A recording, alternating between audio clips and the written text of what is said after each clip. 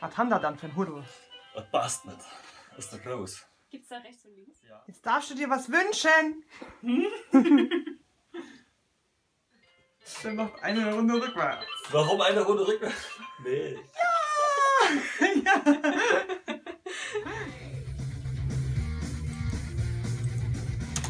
Nicht nur für den. Jetzt gib's mir.